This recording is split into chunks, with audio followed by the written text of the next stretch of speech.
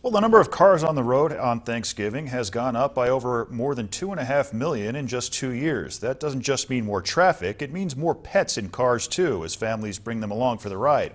Our Sydney Stallworth found out the best ways to keep you and your pets safe on the road during the holiday.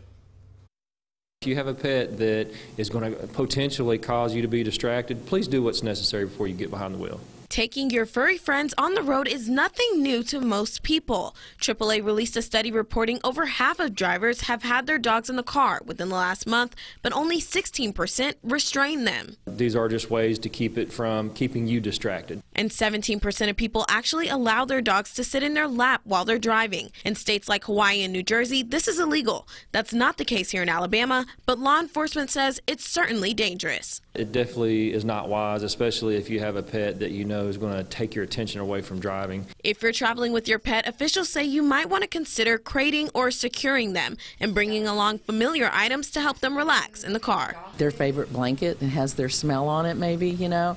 Um, you want them to be comfortable and relaxed and, and, and feel safe. And there are a few things you need on your trip that you might not have considered. A collar with ID tag that has a, their name and your phone number on it, as well as their rabies and or license tags, in case they get lost. And I always recommend that they get their animal microchipped, just in case they lose that collar. There'll be over 55 million people on the roads this holiday, so make sure you do everything you can to keep your pets, yourself, and others safe on the road. Putting the Valley first, Cindy Stallworth, WZDX News. Now, over 60% of drivers admit they've been distracted while driving with their pets, and they say they've done it all from reaching back to play with them to even pulling out their phone to snap a quick photo.